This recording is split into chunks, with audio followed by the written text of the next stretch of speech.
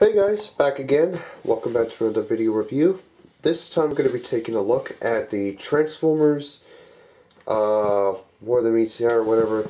Basically this is a mini figurine of Optimus Prime. Now he does not transform, so yeah.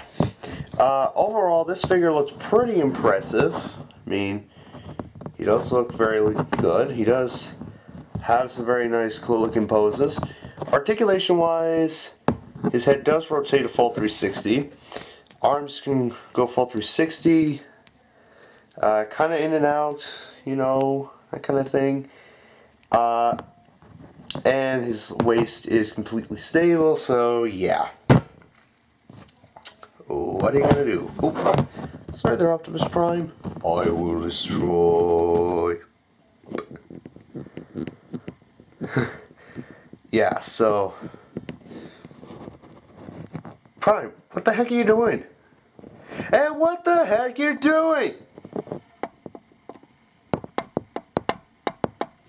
And what the blitz is that? Yeah, I'd like him to do the finger, but anyways. Overall, will I recommend this figure Prime? Yes. If you, uh, if you uh, are a collector, if you like these figurines, then yeah. I didn't really necessarily ask this from Santa Claus, but ah well.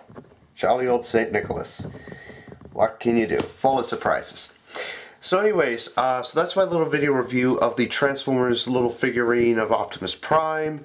I don't know which line it's from. I think it's from Titanium. I think.